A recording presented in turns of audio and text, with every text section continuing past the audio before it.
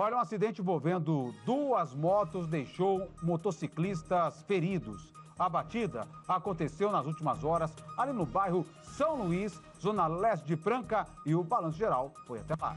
Esse trecho onde aconteceu o acidente envolvendo duas motos teve que ser então isolado pela polícia militar. A gente vê que logo aqui à frente essa motocicleta ficou completamente destruída após o forte impacto. O veículo parou aqui nesse ponto, a cerca de 20 metros de distância da outra moto, uma moto inclusive muito potente.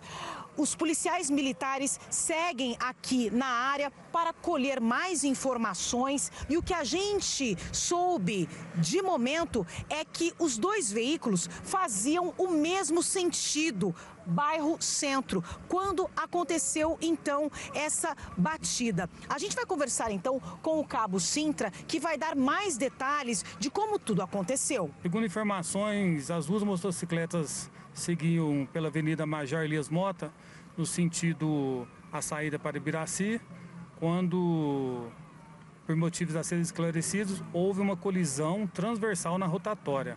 Segundo populares, o condutor da motocicleta Suzuki passou direto na rotatória, vindo a colidir transversalmente aí com a Honda Bros. E segundo testemunhas, uma das vítimas é um médico de Passos. Ele e o outro piloto da moto tiveram aí suspeitas de fraturas. Ambos foram socorridos então pelo SAMU e levados para um hospital particular aqui da cidade. Inclusive, amigos e parentes desses dois motociclistas estão aqui no trecho e muitas pessoas que moram aqui nas proximidades ouviram então o forte impacto. Uma estudante de enfermagem que passava de carro aqui no trecho viu as vítimas caídas no asfalto. Ela rapidamente desceu do automóvel e foi prestar socorro. Eu vi as vítimas no chão, parei o carro e dei os primeiros atendimentos. Tinha uma vítima com fratura exposta no membro inferior esquerdo. É, ele estava respirando muito mal, assim, né? Estava é, com muito sangramento. E a vítima do lado de cá, ela estava inconsciente, assim, desorientada. Os dois estavam desorientados.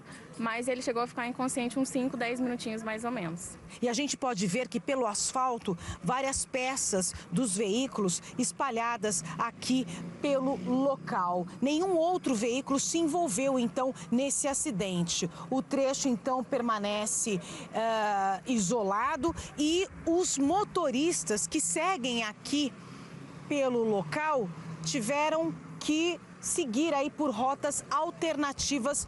Por quê?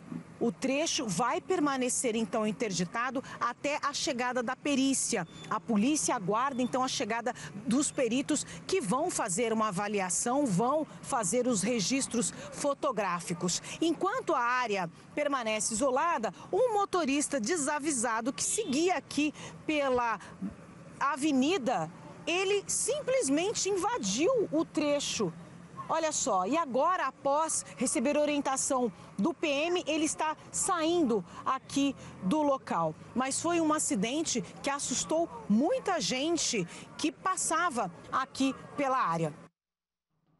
E aí a gente está vendo todos os detalhes trazidos né, pela Márcia Maria. Infelizmente, foram muitos acidentes nas últimas horas. Final de semana é muito complicado. Há muito tempo nós não temos um final de semana com feriado prolongado. Mas como o feriado caiu no sábado, muita gente que trabalharia no sábado acabou né, aproveitando para descansar. E aí nós tivemos um final de semana atípico, né, com muitos acidentes, não especificamente esse que a Márcia está citando, esse aconteceu dentro da cidade, uma batida entre duas motos, mas em muitos casos, infelizmente, a imprudência, no caso anterior que eu mostrei agora há pouco, a bebida, acabaram fazendo a diferença e infelizmente terminando em acidentes muito graves, acidentes que realmente chamaram a atenção nas últimas horas.